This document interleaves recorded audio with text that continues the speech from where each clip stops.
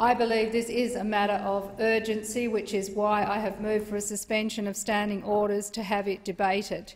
We have got a situation in Australia where going to war is a captain's call, and that is wrong.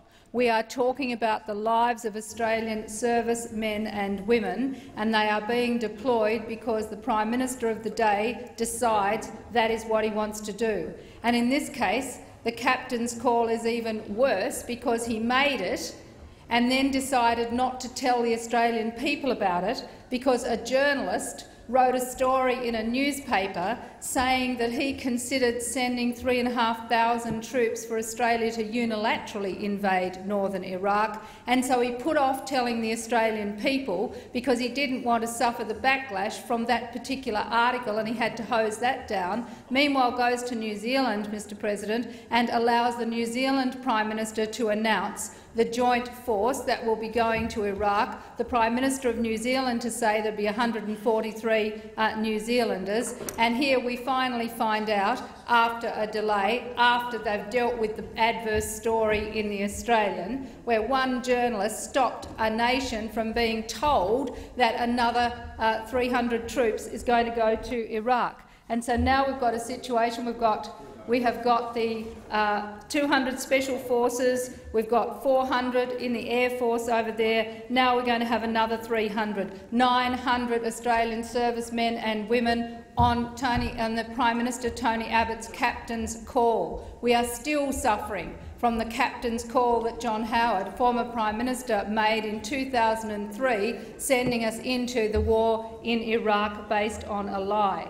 Now, as for the Labor Party going along with this and saying they support it and putting a ridiculous uh, caveat, and one of the caveats uh, that they have put on it uh, is that uh, if the Iraqi security forces engage in unacceptable conduct or the Iraqi government adopts unacceptable policies, Australia should withdraw. We know now they are engaged in unacceptable conduct. We know that the, the mess that is the Iraqi security forces is fighting alongside Shiite militias which are conducting massacres and conducting uh, killings. 72 innocent people were killed just last week as a result of Shiite militias uh, engaged in bad behaviour. Now, ISIS has behaved in, in appalling behaviour as well. Let me be very clear. We are talking about barbaric behaviour on both sides. We also know Iranian generals are fighting with the militias that we will be fighting alongside, and we also know those militias are better paid and better weaponed than the security forces we're supposed to be going there for. And my question is that the Australian people need to have an answer to is why are they going there, for how long, to what purpose, to what end?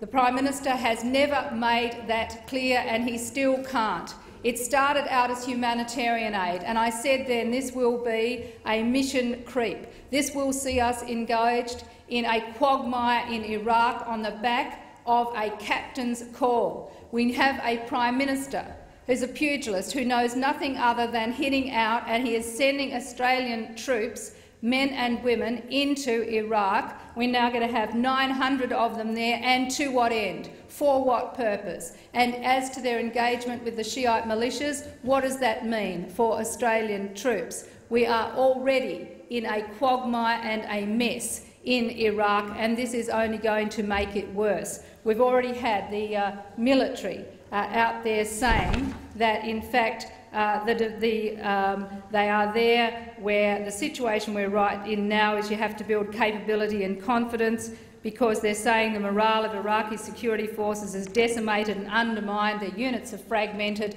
and we think we can fix that, do we? Do we seriously think engaging with militias in, and seeing them engage in inhumane and disgraceful behaviour alongside ISIS doing exactly the same is going to sort out the Middle East? This is a bad call, and the parliament should decide. This should not be up to a Prime Minister. This is something the community honestly thinks out there, that the parliament sends Australian troops. Well, we don't. The Prime Minister makes the call, the captain's call, and it is ill-considered. It has not been you, explained. Senator it's Milne. wrong.